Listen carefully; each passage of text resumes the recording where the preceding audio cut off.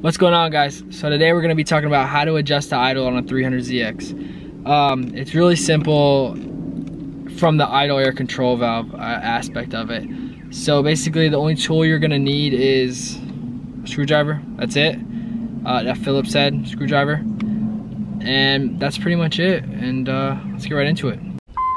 Okay guys, so your idle should be at 8, 850, 900, 750, 800, uh, like around that area.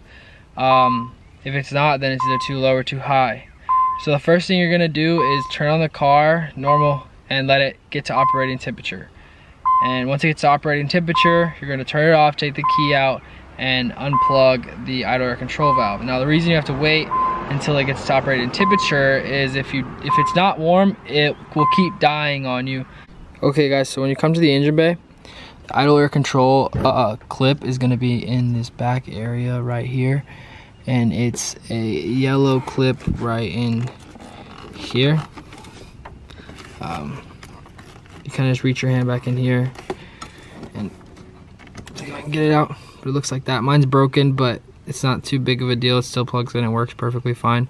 Um, so yeah the connection is yellow. That's where it goes.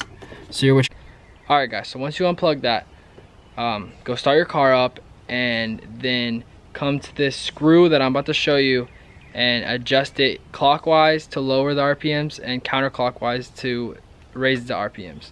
So I'm gonna show you the screw now, where you need to put it in. Um, so it's basically like right, follow the screwdriver. It's kind of hard to see.